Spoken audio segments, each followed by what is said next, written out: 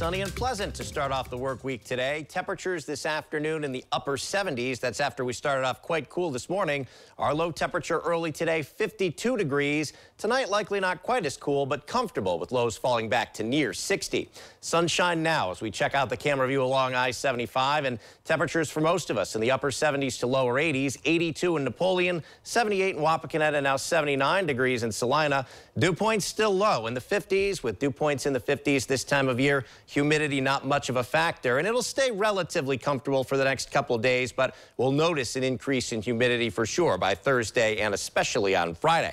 Partly cloudy skies locally, at least in west central Ohio. We are dry. There's a very weak disturbance moving across Illinois that's generating some extra clouds, and we could see a sprinkle out of this tonight in a few locales, but that looks to be the exception to the rule. Most spots staying dry tonight. If it does rain, just perhaps a sprinkle in one or two locations. Our skycast looks like this. Partly cloudy through this evening.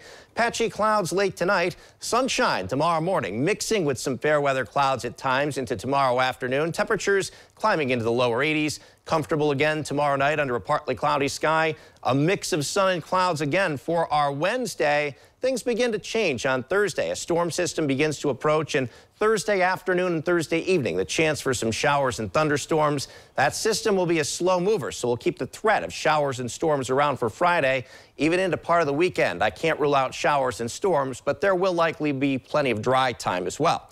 Humidity over the next several days staying generally low, climbing a little bit by Thursday, but it turns muggy for sure by Friday and heading forward into the weekend.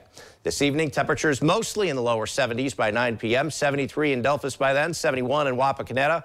Late tonight, we fall back into the lower 60s for low, so comfortable, but not quite as cool as last night. Tomorrow afternoon, temperatures climbing back into the lower 80s for highs. And then on our Wednesday, perhaps a little bit warmer, still with a mix of sun and clouds by 3 p.m. Temperatures near 82 in Paulding, 84 for Defiance, 82 degrees to the east in Ottawa. Partly cloudy skies tonight, just that chance of an isolated sprinkle. The vast majority of the time looks rain-free. 62 degrees our low by daybreak. Sunshine and some clouds tomorrow. A nice looking day for the most part. Still relatively low humidity and our high temperature right around 82. Seven-day Storm Authority forecast for our Wednesday. Mostly sunny. Some scattered clouds in the afternoon. Temperatures climbing to 84 for the high. Sun and clouds on Thursday. In the afternoon and evening, some showers and thunderstorms possible. We'll hold on to the risk for scattered rains for Friday, 85. More spotty showers possible as an upper level low pressure area lingers around for Saturday, Sunday, and Monday. Highs by then in the upper 70s to near 80. Overnight low temperatures in the lower to middle 60s. Jeff.